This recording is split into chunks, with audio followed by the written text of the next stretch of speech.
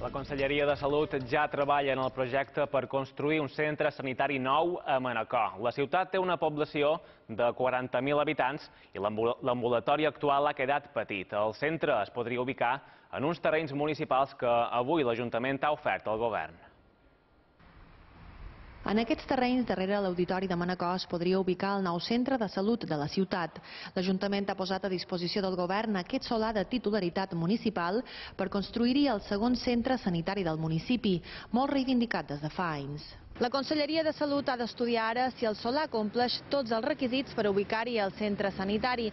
Segons l'esborrany que ha elaborat el Departament de Salut, el nou centre tindrà una superfície aproximada de 3.500 metres quadrats i hi treballaran una cinquantena de professionals.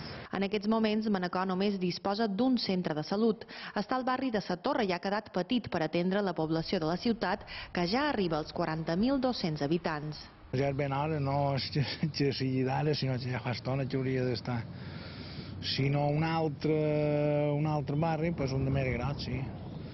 Pues ja ha quedat bastant. No, no és que ja hagi quedat petit, sinó que ja ha quedat obsolet. Sí, sí, sí, sí, ja llavors són l'hospital.